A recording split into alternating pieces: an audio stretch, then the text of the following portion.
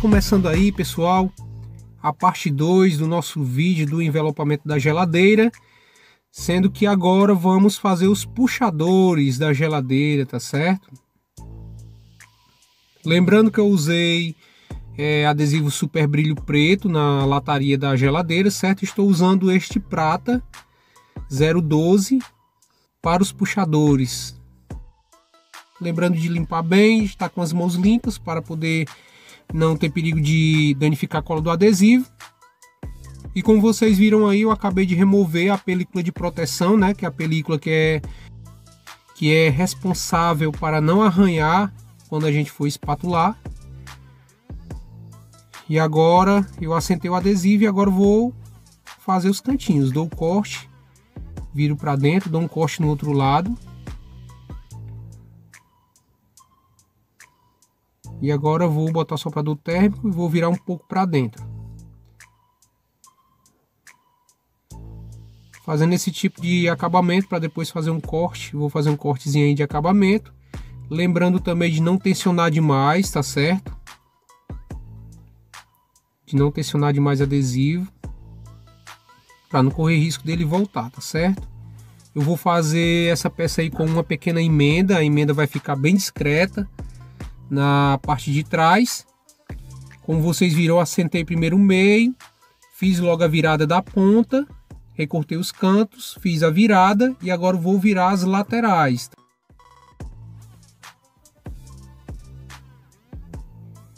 Aí, gente, bem nesse cantinho ele ia ficar ia ficar uma rugazinha, certo? Então o que foi que eu fiz? Eu peguei, fui, aumentei o corte para não, não ter perigo de ficar e agora eu vou virar o adesivo para depois eu vir com a outra peça de adesivo e fazer a sobreposição na parte de trás, tá certo? Estou terminando aí de fazer a virada. Pessoal, não esquece de deixar seu like, se inscrever no nosso canal, viu? Dá essa força aí a gente. Se possível, compartilhe em suas redes sociais Agradecemos a todos vocês que já já é inscrito no nosso canal, que assiste os nossos vídeos, tá bom? Você que tiver alguma dúvida aí, pode entrar em contato com a gente pelo nosso WhatsApp, que a gente vai responder, tá bom?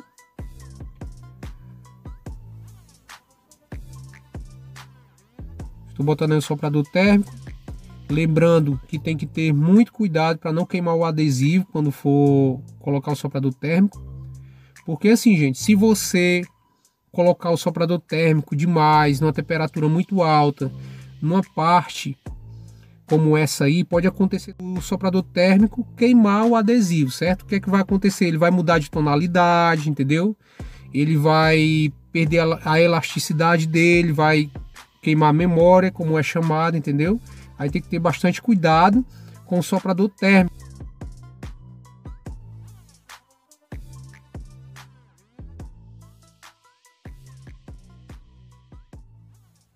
Para não acabar danificando o adesivo, tá bom? Já estou fazendo a virada aí. Lembrando que essa virada aí ela vai sobrepor a ponta, né, que eu fiz e vou deixar aí ele virando para dentro cerca de um centímetro, tá certo? Para depois eu fazer a outra parte. Dando acabamento aí.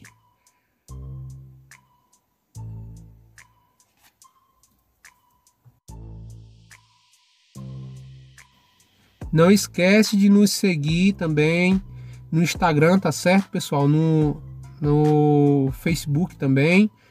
O nosso Instagram é Eduardo underline Silva underline envelopamento. Se inscreve lá, é, segue a gente lá no Instagram também, tá bom? Tem um, alguns serviços que eu posto lá, serviços que eu faço diariamente e lá vocês vão poder acompanhar melhor. Apesar de que aqui no YouTube é, eu estou usando o Shorts também e o História, certo? Para comunidade também eu estou utilizando, botando algumas, alguns serviços lá para vocês verem.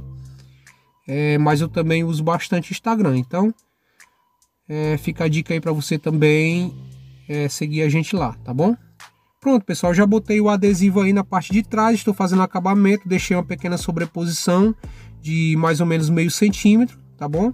E agora vou fazer o outro lado. Como vocês viram aí, eu vou começar pela cavidade, tá certo? Vou colocar, acomodar o adesivo na cavidade aí, ó. Vou botar o soprador para poder o adesivo moldar melhor, sem tensionar, com muita calma, né? Sem, sem deixar o adesivo é, estressado, né? Que isso é muito perigoso. Deixar estressado pode acontecer do adesivo voltar, fazer vincos, né? Então a gente tem que ter muito cuidado para não tensionar demais o adesivo e não ter esse problema. Como vocês viram, ele acomodou muito bom. E agora eu vou fazer o acabamento.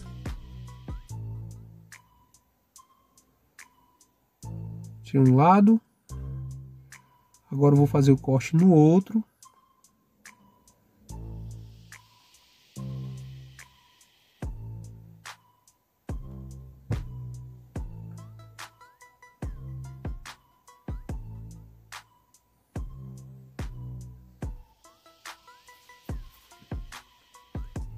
Agora eu vou tirar, vou fazer um corte aí nos cantos, certo? Botar o soprador, fazer um corte aí nos cantos e fazer uma pequena virada. Essa virada que vai ser feita aí, ele vai servir para sustentação, tá certo? Para o adesivo não ficar, não voltar, também para poder quando colocar a pecinha aí no meio, é, a pecinha que tem no meio desse puxador aí, que eu vou colocar é, de preto, super brilho, e ele vai ficar escondido para dentro, né? Então vou deixar aí uma um, um, cerca aí de meio centímetro virando para a parte de dentro, tá bom? Cortar aí os cantos para poder ter um alívio, é o chamado corte de alívio. Tirar o excesso.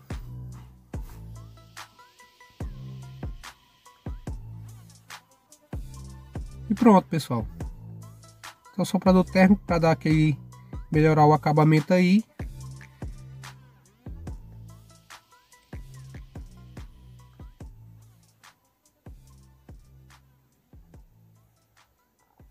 Pronto, terminamos a parte de prata, certo? Dos dois lados. Tá aí o acabamento bem discreto, ficou na parte de trás. E olha como a peça ficou show.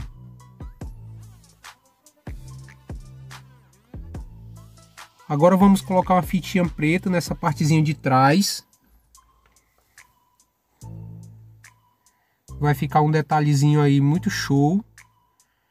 Eu tirei uma fita, é, uma espessura aí de uns 2 centímetros e vou acomodar ela pegando um pouco por cima do acabamento do prata, certo? Ele vai sobrepor um pouco.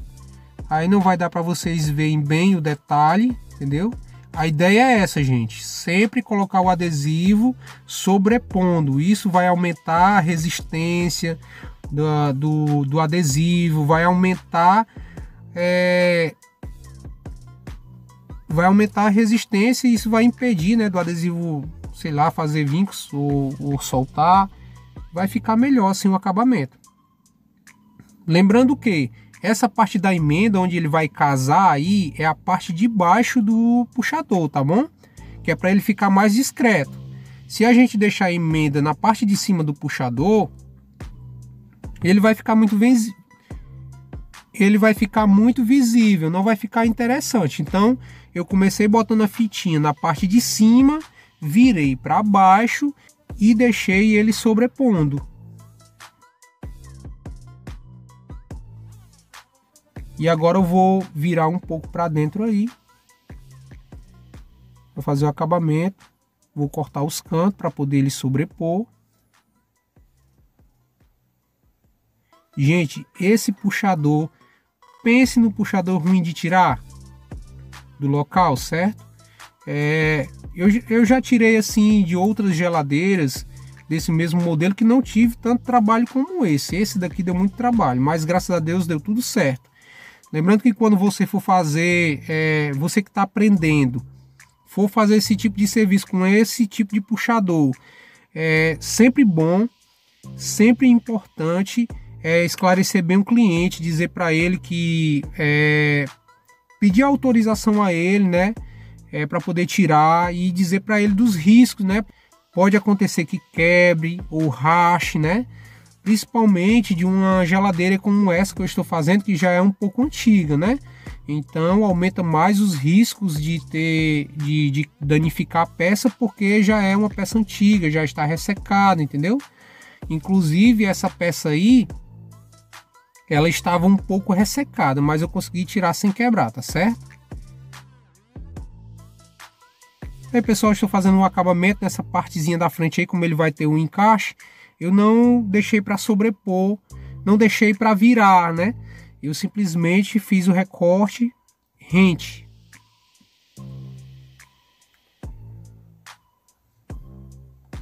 Tá ficando muito bom o nosso acabamento aí. A nossa peça está ficando, ó, perfeita, hein? Pronto, a partezinha da fita. Vamos dar uma pausa aí nos puxadores, pessoal. Vamos fazer agora essa essa peça aqui da geladeira, que é da parte de baixo. Essa peça estava muito ressecada, eu tive que lixar ela com muito cuidado. Não lixei muito porque estava muito ressecada e agora eu vou pintar com spray jet. Esse spray aí, ó, certo? Prata. Lembrando de ter bastante cuidado para não escorrer, tá bom? E a aplicação, você passa uma mão, espera 15 minutos e passa outra mão. Nesse caso aí, como estava muito ressecado, eu passei uma mão, esperei 15 minutos também, né? E no total eu passei quatro vezes é, a tinta para poder ficar perfeito, tá bom? Pronto, pessoal. Como vocês já viram, como, como foi algo bem simples a, a parte de pintura, vamos fazer a parte do meio dos puxadores. Tirei um adesivo de acordo com o tamanho, né? Sobrando um pouco e vou fixar primeiro o meio, fazer a régua, né?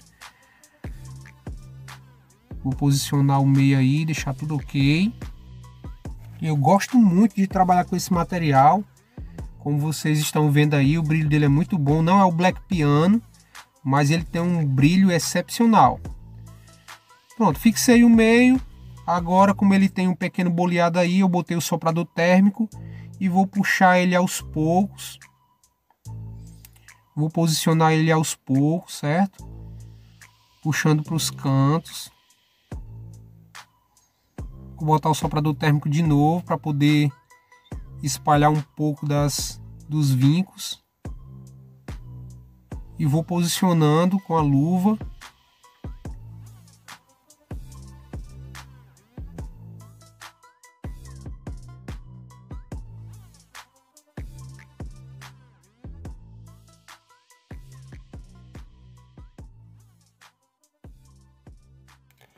Vou tirar aí o excesso agora para poder facilitar o trabalho.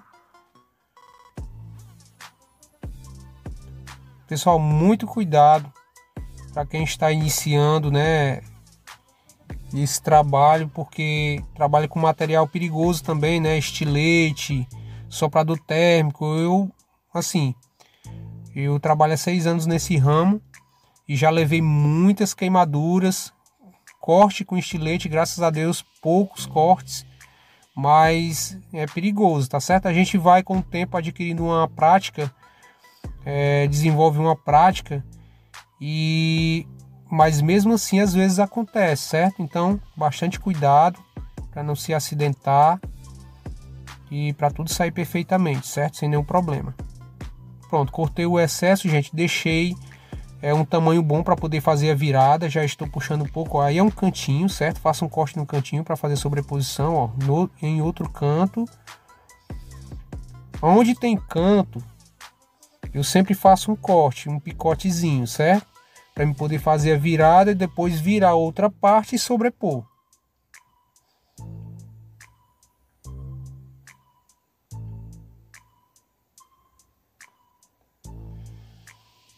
Meus amigos, eu estou trabalhando é, para organizar um ambiente para a gente fazer, para mim trabalhar melhor, né, nos meus vídeos. Eu tô, estou precisando de um ambiente para poder fazer as lives, né? Quando eu digo assim ambiente, não é um ambiente, sabe? É extraordinário. um ambiente simples que dê para me fazer os vídeos lá, que dê para me fazer as lives, é, que dê para me mostrar para vocês como é que eu faço os serviços, que dê uma melhor qualidade, né? Para para me mostrar para vocês.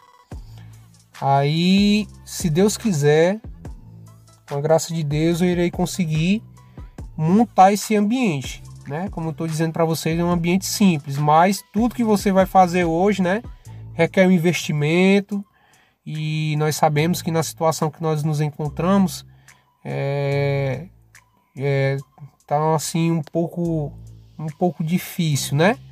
Mas nada que a gente não não possa superar colocando Deus à frente, né? Então, se Deus quiser, em breve teremos o nosso ambiente para me fazer as lives, tá certo? Para me fazer as lives e mostrar para vocês ao vivo alguns serviços que faço. Aguardem. Se Deus quiser, vai dar tudo certo. Já estou picotando aí, pessoal. Lembrando que essa partezinha de dentro aí, ó, ele tem é, um pequeno relevo. Esse relevo é onde faz o encaixe dessa tampazinha, tá certo? Aí estou picotando e fazendo um pequeno corte em cima desse relevo para poder a peça encaixar, né, normalmente, não ter problema na hora do encaixe.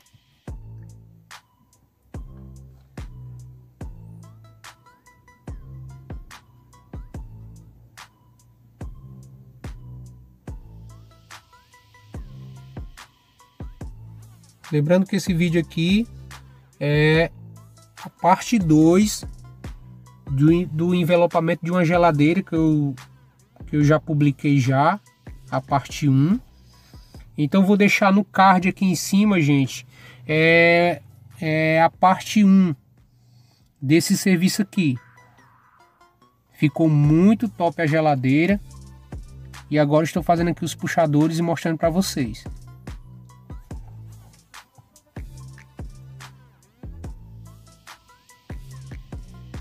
Estou terminando de fazer a virada.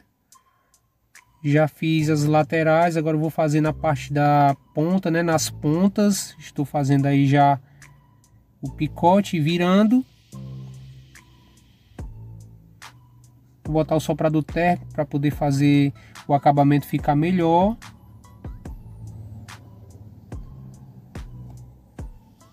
Aquela quebra de memória.